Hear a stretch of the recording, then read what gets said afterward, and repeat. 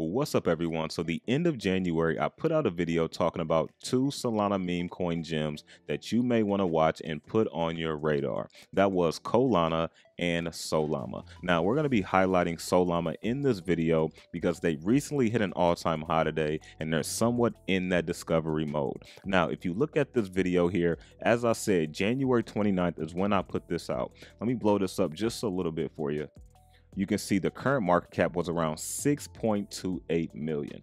Liquidity 235 and holders was just under 3000 now if you look at the current chart today you can see it's currently 11.13 million liquidity is basically doubled 431k uh, and right under 7,000 holders. So they've also over doubled their holders as well since that month. Now, as you can see here, I mentioned them January 29th, which is this candle right here.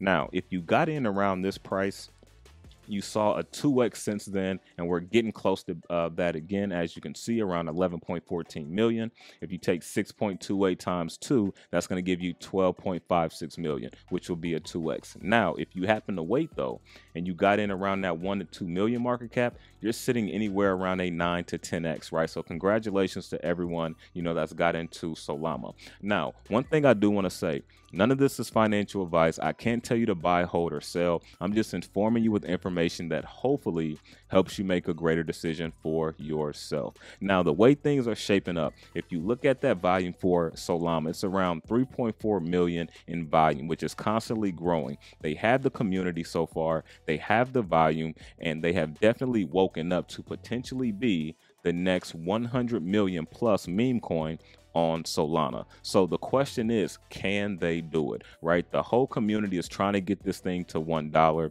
and that's going to be well over a hundred million plus market cap. And so one thing I do want to mention, Solama has had some FUD surrounding it, right? Definitely around a month ago, and there may be still some around it, but I haven't heard much. But around a month ago, a lot of people were saying that the project was a scam, uh, something was up with the founder or the developer, but that hasn't seemed to stop the project project for progressing and setting new all-time highs. So I did briefly want to mention that just to let you know, I have heard some of the FUD surrounding the project. And one thing you do want to know in crypto, there's always going to be some type of FUD, right? Rather the project is legit or rather the project is a scam. There's always going to be some type of FUD. And remember, there's always risk in crypto. But I did want to just kind of give another update since I did mention Solama to you guys about a month ago. And here we are experiencing new all-time highs. So let me know down in the comment section. Are you a holder of Solama? Have you recently got in? Did you get in at the beginning? And also for people that don't know,